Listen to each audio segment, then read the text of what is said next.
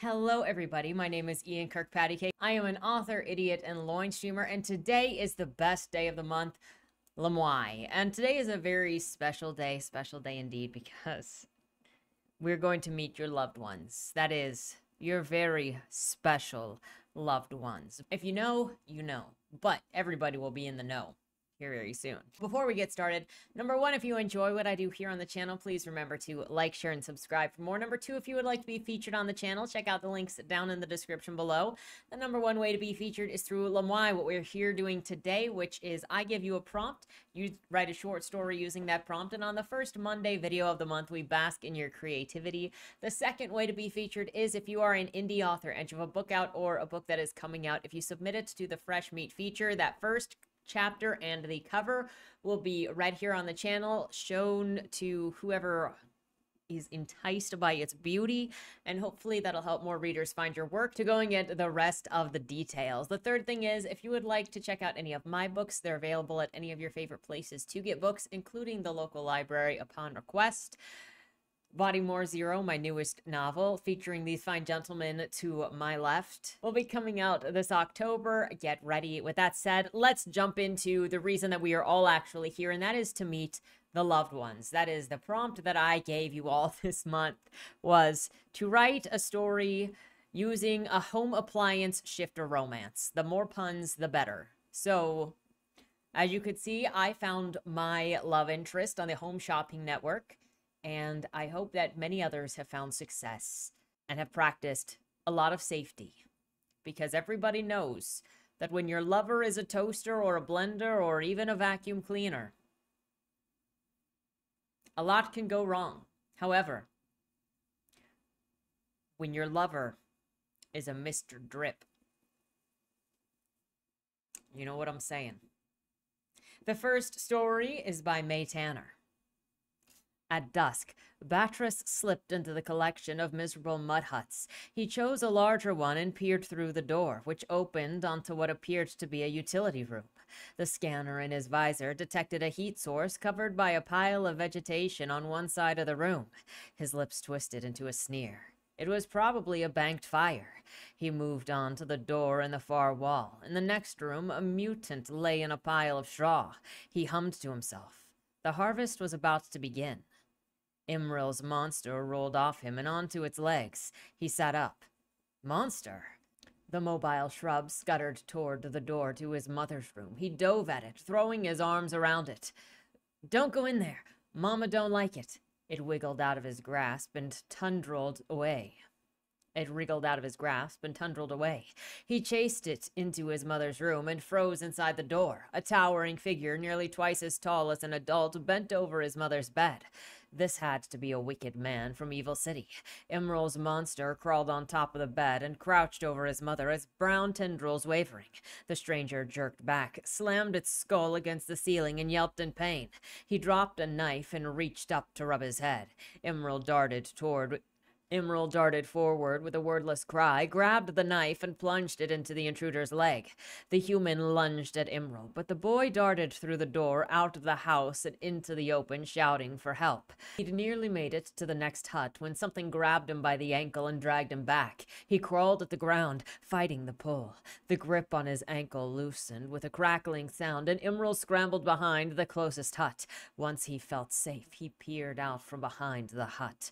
A person assigned to guard duty stood beside his home, pointing a shiny object at a human, who stood, tugging at the visor over his eyes. Osman hooked Kindle's disruptor on his belt and grabbed a tangler. Kindle had told him that the tanglers were single use, and they often had a dozen of them, but he'd use as many of them as he had to. He hadn't seen a human other than Kindle since he'd fled the laboratory. The tangler wrapped around the human, and he tumbled to the ground. Fian stepped to his side. Where do you think he came from, and how did he find us? Asman knelt beside the human and pulled the helmet off of the man's head, revealing a face of a stranger. The man spat at him. Asman curled his lips. The spittle had landed on the towel that he wrapped around his face, and the head in memory. You're a dead man. Not long after we fled the laboratory, the human who helped us was briefly exposed. He died a couple of months later. We've traveled much deeper into the desert than we were then. I can already see sores on your face. The sapling inserted roots into every break in the symbiont outer layer from which the fluid escaped. It absorbed the fluid that had already flowed out, becoming waterlogged. Deep into the sapling's DNA, an alarm sounded. Symbionts that leaked too much fluid became inert and unable to provide nutrients. The symbiont was superior to any other recorded in the DNA, as it provided both fluid and nutrients. The sapling secreted fresh sap and sealed the breaks in the symbiont outer layer. The sap hardened, and no further fluid leaked. The sapling went dormant. A small hand gripped Asmund's shoulder, and he glanced up. A young man stood beside him. That human hurt Mama. Where is she? The child pointed to a large hut nearby. Fian stepped forward and pulled the child into his arms. She nodded at Asmund. You go in and check. I'll watch over the boy. Inside the hut, the largest shrub Asmund had ever seen rested on the bed made from straw. He rolled it off of the bed, and underneath, where the mobile shrub had rested, lay a naked woman. A band wrapped around the woman's neck, and another trapped her hands to her waist. With a third bound her leg together, pressing the woman's heel against the backs of her thighs. The woman's eyes opened. I mean, the sap, the mobile plant is very a very creative take. when I read mobile plant, I think of like a planter with wheels on the bottom and it's like a a sentient plant that like drives itself around. A lot of perspectives in such a little space. There was some great description that really pulled you in while reading this. Thank you for submitting, Mae. The next story is by John Morey. It's titled Toasty, a Tragedy. This better not end in raccoon deaths. Oh, baby, you make me so hot. It all started when Kevin had used rubber tongs to pluck the toast from his brand new toaster and it moaned. No, she moaned. She must have been some sort of transformer or whatever they were called because it's just what she said. She transformed. Somehow, the little Black & Decker appliance had unfolded into a woman of gloriously chrome-plated curves and twisting, sensuous wires. Just call me Miss Decker, she said, and I'll be all yours, big boy. Kevin was overwhelmed. The tantalizing aroma of crisp, burnt bread, the warm hum of electricity, the heat radiating from her unseen coils, throbbing with culinary desire. I, I can be as sweet as raisins and cinnamon, she purred as she leaned in, metal fingers caressing over his ribs or as tangy as the oldest sourdough. I am yours. How? he asked. I mean, how, how are you, uh, how? I just love the way you turn my dial, the way you press my lever, the way you work those tongs. I can be demure as her weight, spicy like everything bagel. I can even be your French bread. But you're a toaster. I'm your toaster, she said, and he felt the warmth from radiating coil that served as her tongue. Please, Heat your baguette inside my slot. You just know how to power me up. Still confused, Kevin put the tongs down, only for Miss Decker, the toaster girl, to catch his hand. No, she said. I like the rubber. He dropped the tongs with a panicked yelp, only for the toaster woman to draw him fully into her steel embrace, her tiny arms wrapped around him. His lips met hot metal, burning and yet so eager, so warm, so tasty and crumb-filled. Almost on reflex, he lifted his hand, fingertips brushed against what would have been soft on a real woman, but now was solid chrome. Let go, she whispered huskily into his lips. My ego overtaken by desire, by need, by hunger. He hadn't eaten breakfast yet. Kevin returned the Chrome Woman's embrace. Fingers brushing over dials and levers and that long power cord. Go ahead. Turn my heat up. Press me down until I spring. Spread yourself on me like cream cheese. Melt all over me like butter. I'll be your bagel, he said. Your challah, she sighed. Your croissant, your rye.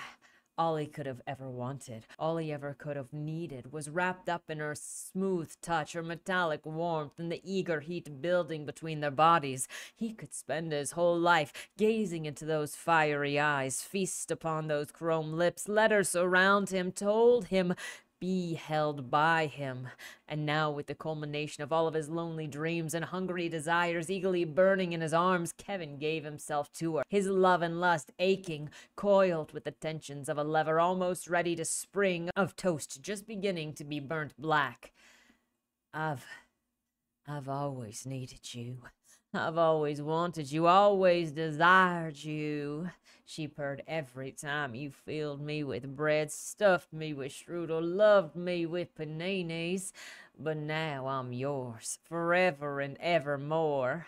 Our love melted like cheese on a breakfast sandwich. I can't stand it any more. Take me, take me, my lover. Kevin gingerly took the tongs and slipped a slice of this morning's freshly buttered bread into Miss Decker's slot. She moaned, eyes and tongue glowing, power cord tensing, lever ratcheting down with taut tension. Yes, yes, yes, give me your toast, twice burnt, slathered with decadent butter and jelly. More, more. Push that bread deeper. Feel the springs click. Heat me up. Use your tongs. Oh, yes. Oh, yes. Oh, oh, oh. Miss Decker suddenly spewed a mass of burnt crumbs from her slot and her mouth, spraying the entire kitchen and Kevin with stale, with old stale burnt carbon. Some of it got into his nose and he sneezed, which made some of it which made some of it go down his throat, and he coughed, which sent some into his eyes. Oh no, she squeaked. I'm so sorry. I guess I haven't been cleaned in a while. Are you okay? Kevin, still coughing, grabbed a hand towel to clean it off his face, but only succeeded in getting more greasy crumbs stuck into his hair. I swear, I'm usually, I usually don't go off like that. Not so soon, at least. The toaster woman stammered. Please, please let me clean you off. I'm so sorry. It's okay, Kevin sputtered. Not your fault. Ugh. But you're covered in crumbs. I'll just take a shower, Kevin said. It's okay. You're not mad? I'm not mad. Do you still love me? Miss Decker, you burnt me up. You make me so warm inside. Please, let me make it up to you. He smiled. Just let me take a shower and it'll be fine. Oh, yes, what a wonderful idea. She brushed her fingers over his cheek and then took him by the hand. Let's go enjoy ourselves a bath together. Kevin led his chrome lover into the bathroom, to the shower, the tub, undressing hastily and shivering at her chrome touch. Coroner's report. 3822 94. Subject was found deceased in his home, electrocuted by a toaster in his bathtub. We have ruled it as a death by misadventure, not intentionally inflicted. For the sake of his family, I suggest we omit exactly which part of the deceased was stuck inside the appliance when he was found.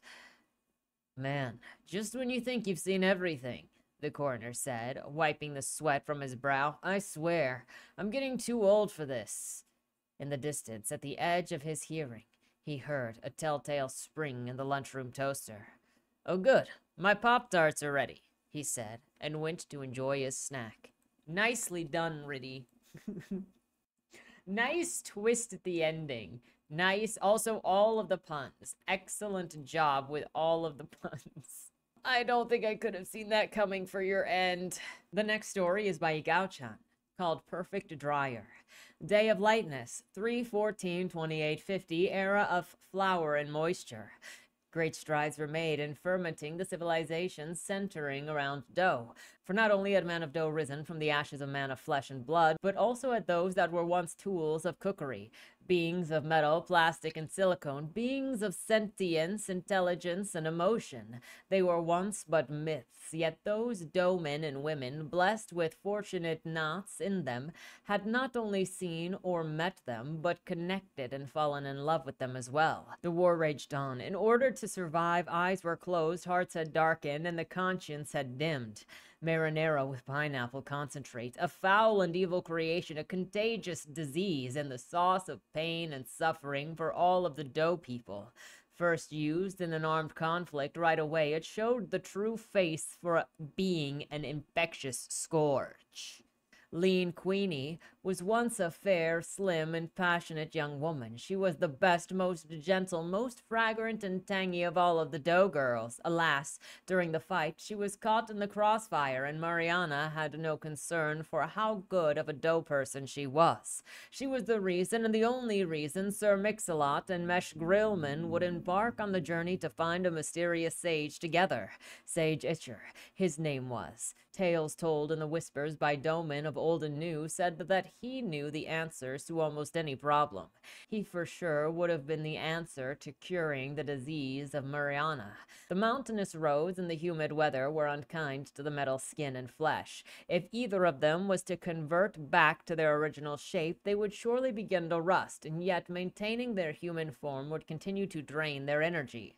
Ah, Griller, you doing okay? Not out of spins, are ya? Sir Mix-a-Lot looked back as he got onto a small hilltop. Mind your own burning business, Spinner.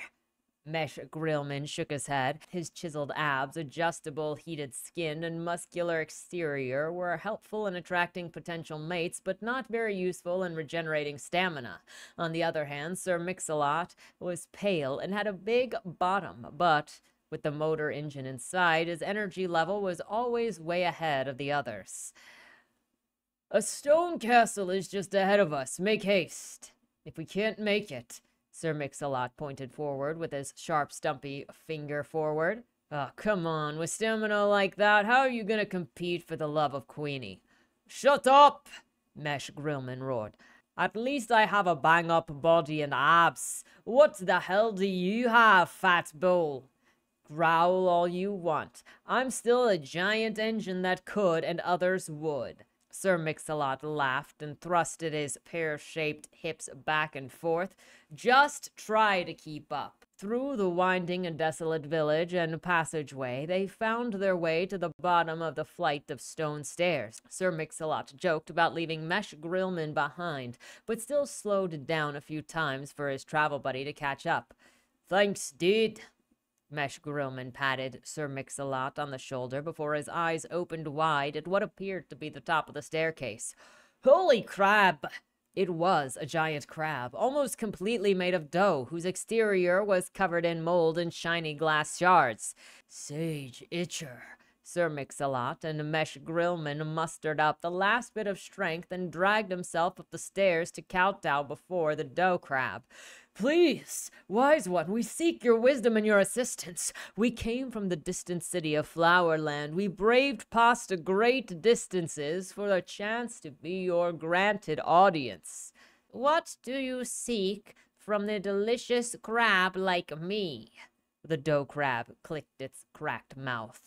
I know nothing of this world, and I itch no one. Please, just tell me what you need and let me get on with my day, young mixer and young electric grill. We want to know how to cure marinara. Sir Mix-a-Lot and Mesh Grillman spoke at the same time. The dough crab looked like it almost choked on the word, but it immediately gathered itself.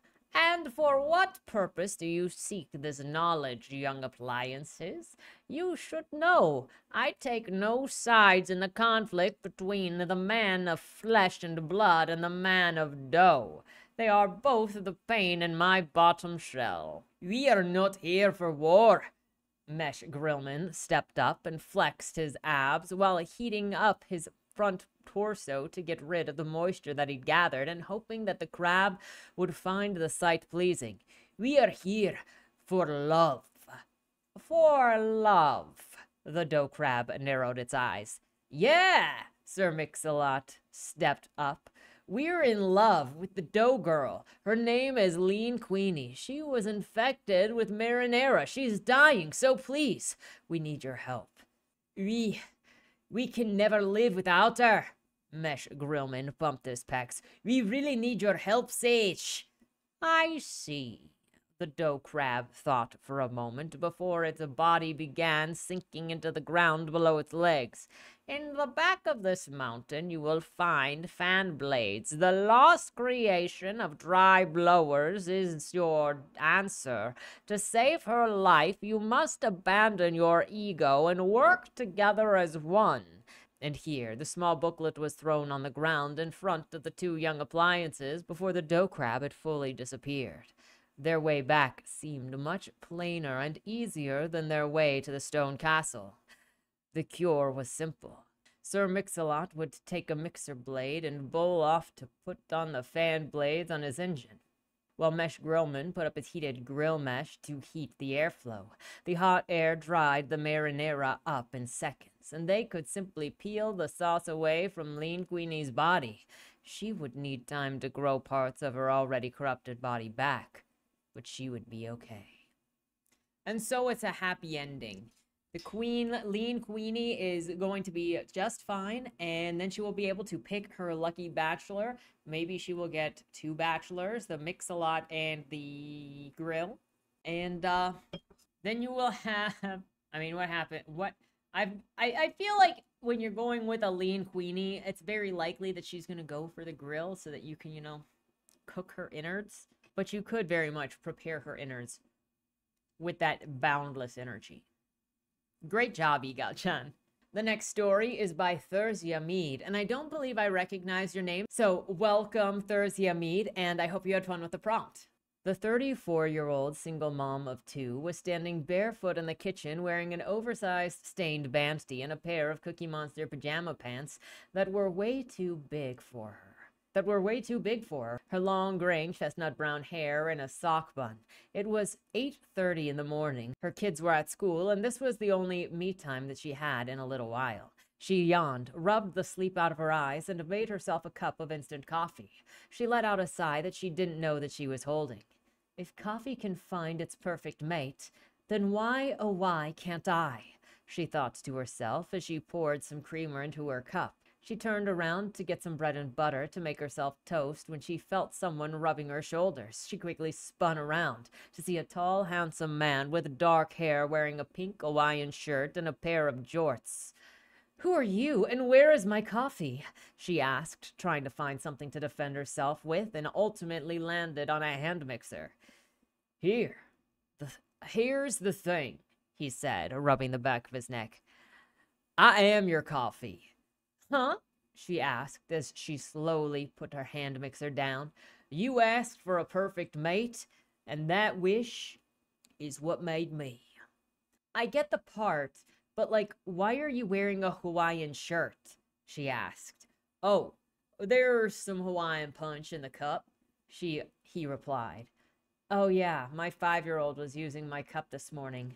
I guess I should have washed it out, she thought to herself. Makes sense to me. She smiled. So, we're soulmates. He nodded, grabbed her hands, and pulled her in close. She noticed that he smelled like coffee and kissed him on the side of his face.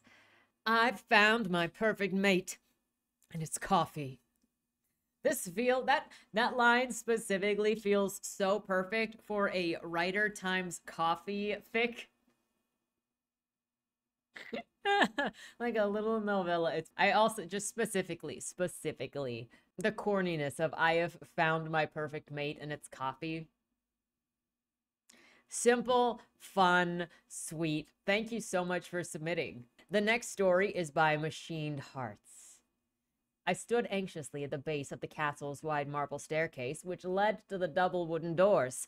Anxiety welled with each step toward the entryway.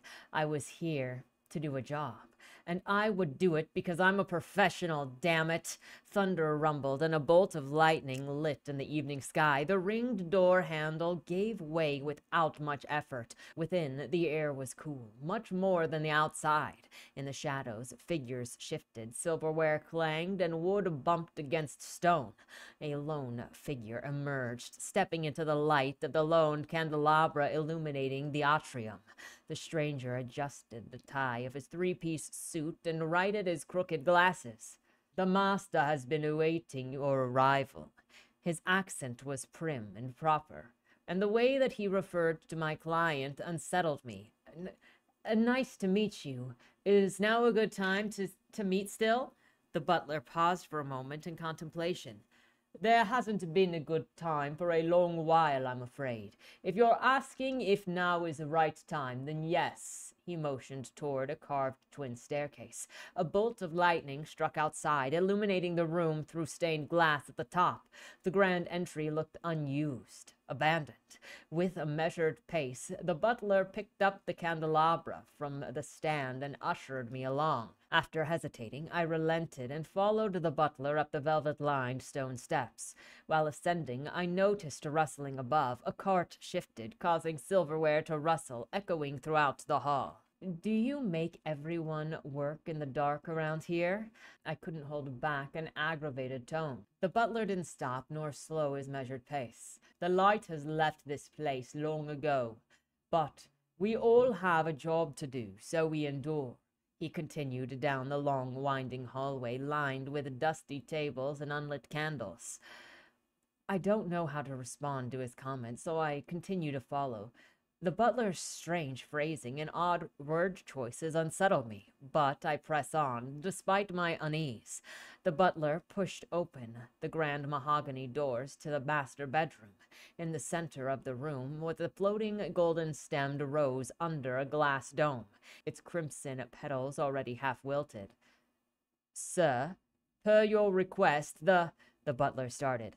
Leave us! A booming baritone voice echoed out from the wooden.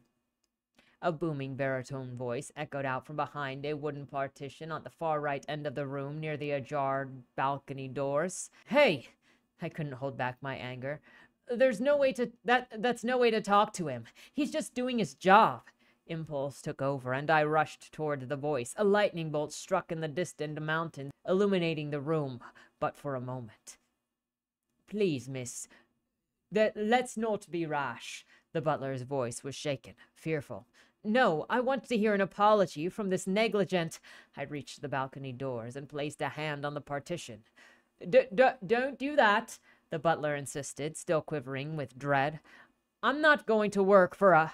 I rushed around the facade and found myself face to face with a cappuccino machine, though a very expensive and elaborate device, one that seemed would one that seemed would make a very tasty beverage indeed. Uh, what is the meaning of get out? The cappuccino machine boomed, shaking the glass panes in the balcony doors. I turned to the butler, just as terror washed over the poor man. In a poof of sparkling dust, his form disappeared, and at where his feet once were appeared a robotic vacuum. Oh dear, I uttered. Oh my gosh, there are so many ways that I could see this going. Number one, I thought that she was gonna like step onto the balcony and there's just gonna be a refrigerator there. Number two, then I start thinking about like video game levels where people have replaced people with objects, kind of like Garry's Mod, when you just kind of replace characters with different objects, especially an Object Hunt, and then the objects moving around. The third thing is, what an interesting, like, a take on Beauty and the Beast, but it's like a haunted house and it's still all of the furniture, but it reads like a haunted house. And then you could either go, the person that went in the haunted house is crazy or they're not crazy. But either way, fun. I mean, and it and it obviously had its references to Beauty and the Beast very early on. But fun. There are so many ways you could go with that. Thank you for submitting. The next story is by Thomas Leon Writing. Welcome. I think this is your first time. I don't recognize your name. Welcome and thank you for submitting. She said it, and she meant it. Still, she wishes that she could take it back, because there is no way that he could commit to her request. No way that he can make her feel enough, make her feel full. It's a problem that they struggled with every day this summer, that he can't make her feel anything because she felt nothing. I am done, she thinks to herself, feeling defeated. I give up. She sat there, flat and empty. Life had taken her pitcher of emotions and emptied it and refused to refill her. But she craved to be full, to feel something. Are you serious? he asked for the third time. She mouthed the words almost to confirm that her lips were capable of shaping what she intended. She didn't answer, only looked to him with craving eyes that looked right through him. Or maybe they saw him for what he really was. gazing upon a real him, whose words, gazing upon a real him, whose words were as hollow and empty as she was now. Okay, he said, giving in. His words crashed into the barren and white walls that made up her room. Only a full sized bed and a single starving spider, patiently waiting for its next meal by maniacally expanding its web, contributed to the room's decor. He turned away from her, squatted with his knees to his chest, and began his shins compressed and folded on themselves, and a glimmer returned to her eyes. She had seen this absurd transformation only a dozen times. Mesmerized, she anxiously sat and watched her own personal mystic theater. This pain must be unbearable. This pain must have been unbearable, she enviously thought as his shins appeared as a solid piece of exposed bone and his head was forced up and back, snapping his neck into position. Expectedly, he lost consciousness, and all that was left behind was a version of himself, reconstituted into flesh and bony clothing iron. She stared, and her zombie like gaze came to life as his mouth, or what was once his mouth, was left agape with grotesque apprehension. He wasn't a large man, he was thin and frail, with pale skin and thin lips. Constantly, he would be called into question about his health. His own mother took studying parasites, viruses, and all sorts of ailments, wondering which disease was stealing life from her son. Contrasting his looks, he possessed this amazing ability. Through all of his mother's studies, she would have never guessed that his appearance was a product of the, pieces that he would lose of himself as he transformed transformed. She would have to wait some time for him to return back to himself, and even longer to convince him to do it again. But he loved her. All of the threats that she knew held no weight, and inevitably he would give in to her requests, bending and breaking for her, helping her burn away those numb feelings. A puff of steam erupted from his legs. He was ready, she thought, picking him up by his spine. She hovered her hand over his bone soft plate to confirm. The heat erupting from him made her habitually flinch away. This is what she had been waiting for. Hiking up her skirt, she exposed her own pale and scarred legs. With a deep inhale, she committed, pressing bone to flesh. His heat pressed and seared into her inner thigh, and she was in love. Her body erupted into an intense heat, and her heart raced. The room flexed in her vision, brightening and clearing. Dropping the iron, with a painful moan, she collapsed onto the bed, gasping for breath, sweating. She thought that she will stay like this for a while. The transformation will last at least an hour and another three days as he goes through the anguish of returning back to his fragile self. I will stay like this for a while, she thought.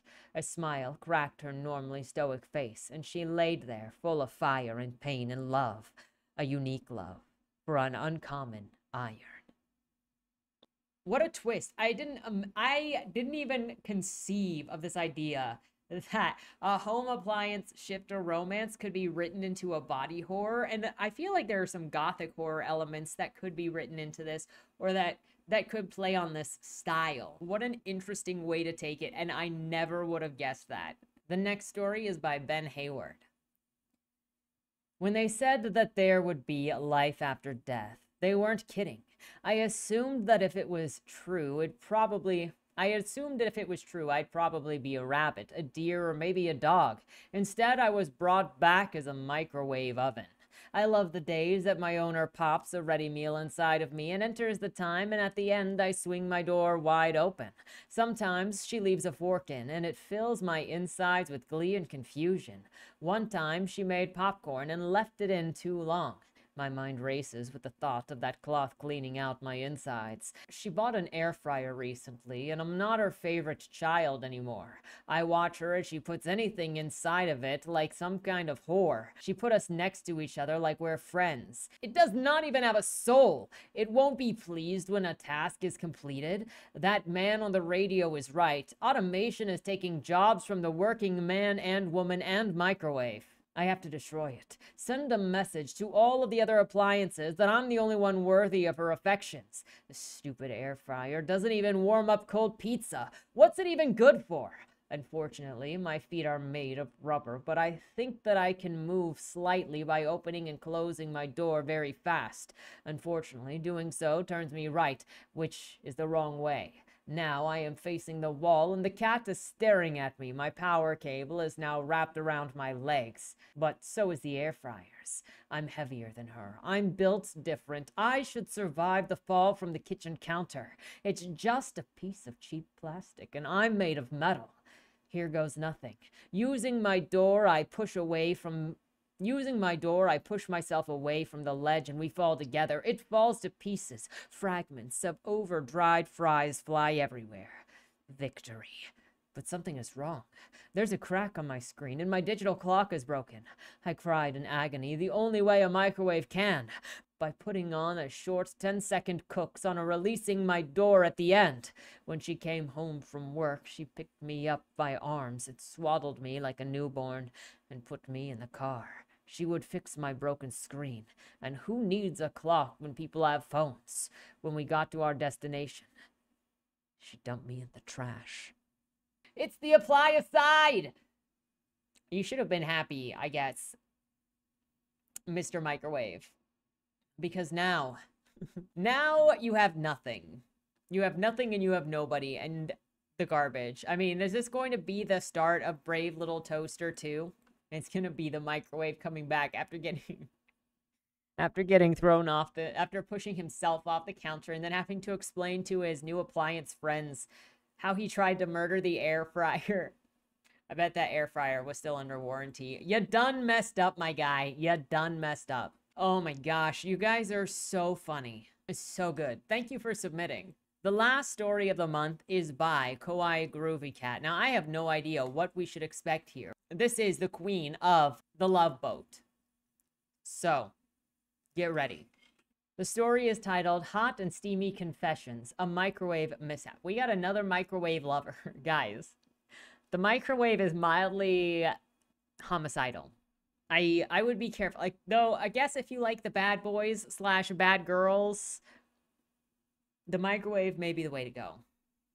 Hell is hot, and it's always welcoming new members. But before the lucky ticket holder can come in and face their punishments and eternal damnation and stuff, every sinner has to undergo an interview just to confirm that I'm not missing any important information that should have been in the files that God sends me. And yeah, if it wasn't clear, I'm the devil I seduce humans into sin and falsehoods and all sorts of sexy wrongdoings that God doesn't like. And then I punish those sinners in hell, and I am so horrible and awful and evil and. Yeah, yeah, you get the idea. But if there's one thing that you should know about me, it's that I really fucking hate my job. And you'll see when I interview the newest resident of hell. So, uh, Chris Dell is the name I have on record, and you've been convicted of having an obscene incident with your microwave, which is also listed as your cause of death. Is all of that correct, ma'am? Well, I wouldn't put it like that. Obscene incident makes it sound so dirty. But there's nothing sinful about love, is there? Even the Bible tells us to love thy neighbor as thyself. So that is why you. With your microwave. Oh, come on, man. That can't be the worst thing that you've ever heard of. Are you actually embarrassed? There's nothing obscene about loving your microwave. It's just a taboo put on by society, a social construct, if anything. It's like homophobia. That kind of hatred was brought on by other people, but there's nothing intrinsically wrong with being gay. But then, What's the next taboo to be lifted? So what if my girlfriend just so happened to occasionally take on the form of a microwave? It doesn't mean that she's not still a person. Okay. Help me understand this. A love affair of yours, and why God decided to send you to hell. Well, aside from God being a bigot, for starters, Mike and I were roommates. Mike? Short for Michaela, She's my girlfriend. Uh, looks like she's next in line. How about I bring her in and finish you both off at once? Kinky. No, not like that. Neither of you are my type. I prefer redheads. Beep. Bring the next one in. It's time. All right, let's not waste any time. State your full name for the record, ma'am. Michaela Rowe Wave. But just call me Mike to keep things simple. Right. Would I be correct in presuming that you are the, um, microwave that Miss Dell's obscene incident refers to? It's not obscene, it's. Can it? It's her turn to talk, not yours. Don't make me bring out the talking stick. She's right, though. But yeah, guilty as charged. Now that we're on the same page, both of you please tell me your side of the story in regards to this incident.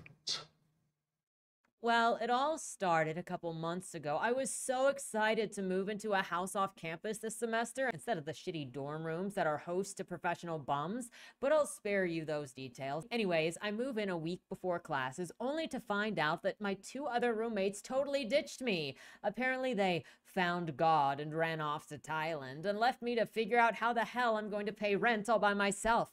And let me tell you, it ain't cheap where I live. The rent was 2500 a month, and I think that I made about that much during my summer internship. So that night, I tossed some frozen meal from Trader Joe's into the fancy microwave for dinner and contemplate whether I should sell drugs or post feet pics online to make some quick cash, and then suddenly a woman appears and tells me, You probably shouldn't let this get cold, cutie. Wow, I can't believe you remember that word for word. I knew that you were the woman of my dreams. Mm-hmm. So, needless to say, I was startled and I looked over at where my microwave was and it was gone. Instead, there was this well-rounded hottie handing me my dinner and she thinks that I'm cute. I pinched myself to make sure that I wasn't dreaming and it turns out the dream didn't end. And then I introduced myself and explained what I was. For reference, me and my whole family are what you would call shifters. We're still humans, but we can turn into certain appliances or devices. Like, for example, my brother can shift into a radio whenever he wants. Well, that's new. And then what happened? I took one look at Mike after she'd told me her secret, and I was already in love. It was meant to be. At that very moment, I knew that I had found my mate. Mate. Like the werewolf mate? Not like friend mate. Pretty much. Right. And uh, how long were you two together? Well, my sense of time is totally fucked, but it was probably closer to two months than just one. And I know that because Mike helped me make next month's rent, and we were even able to pay off the next two months in advance. Is that right? And before you ask, we did not start an OnlyFans together. I wasn't going to ask, but carry on. Well, to make a long story short, we cooked crack and sold it.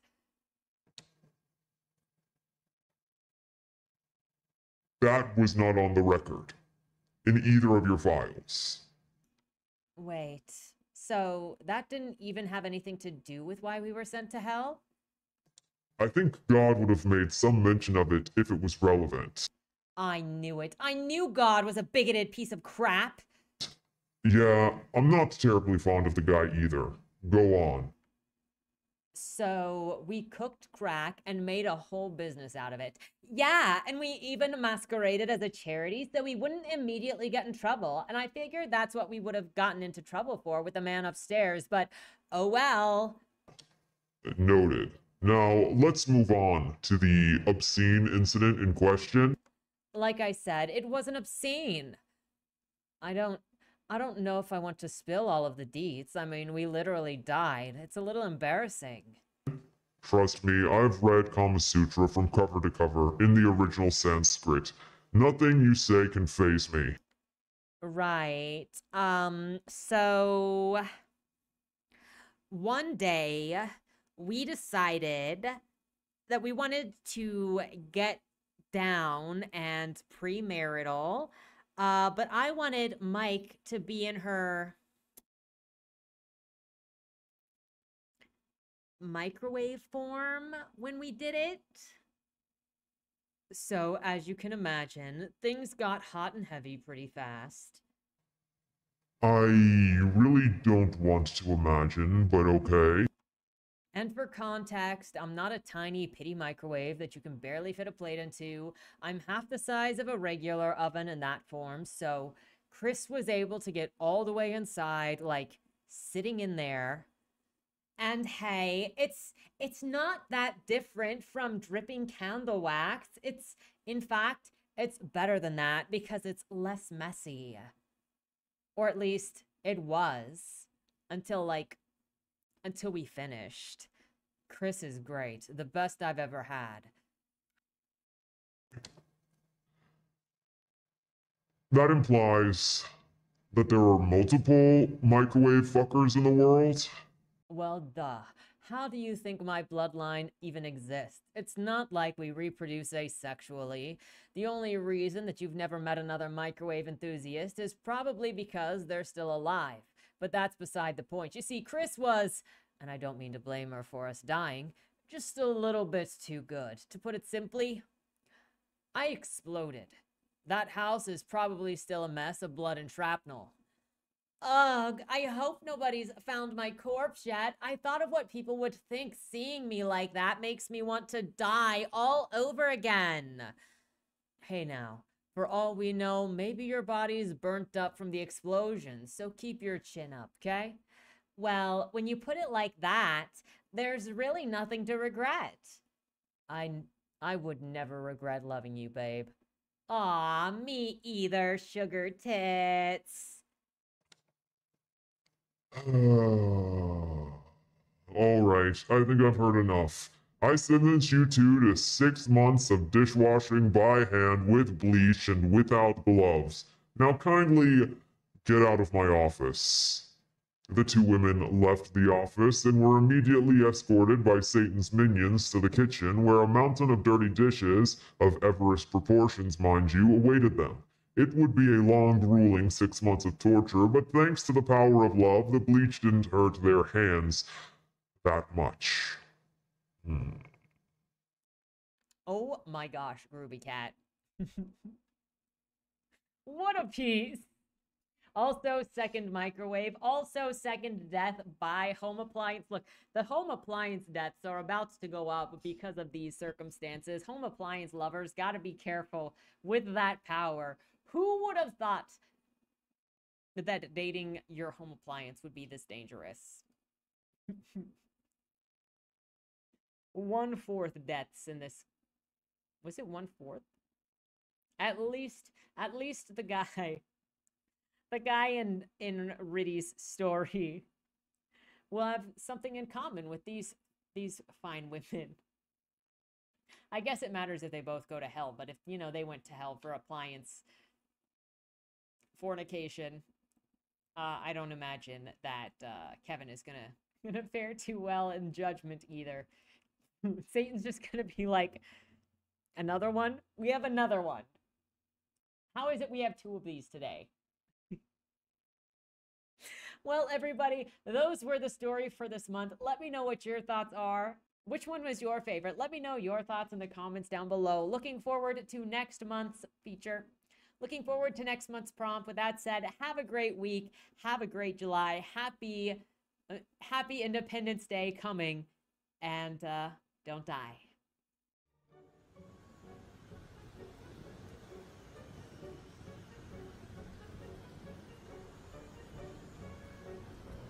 The only people who should come are those who want to meet their monsters. If this is what Agatha wants, I don't know how we can even dispute it.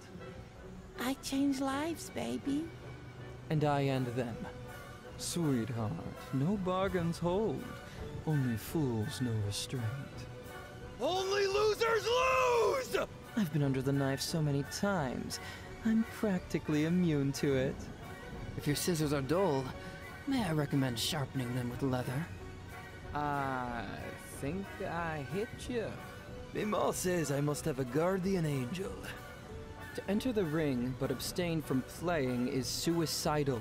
Your virtue makes you nothing but a liability. You're gonna die. You're gonna die. You're gonna die.